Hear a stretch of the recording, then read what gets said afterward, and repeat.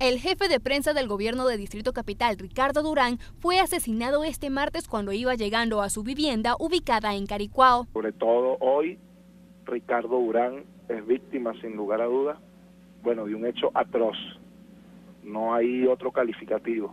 Un hecho terrible que hiere hondo. Según información de la Fiscalía, los testigos refieren que de un carro bajaron tres hombres con la intención de despojar al periodista de su vehículo. Sin embargo, opuso resistencia, razón por la cual los desconocidos efectuaron varios disparos contra el profesional de la comunicación, quien quedó tendido en el sitio. Los tres hombres volvieron a abordar el vehículo de donde descendieron y huyeron del lugar sin llevarse el carro ni las pertenencias de Durán Trujillo.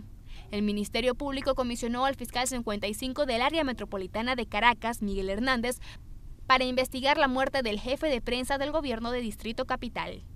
Desde nuestra plataforma multimedia, Luz Rodríguez, Notiminuto.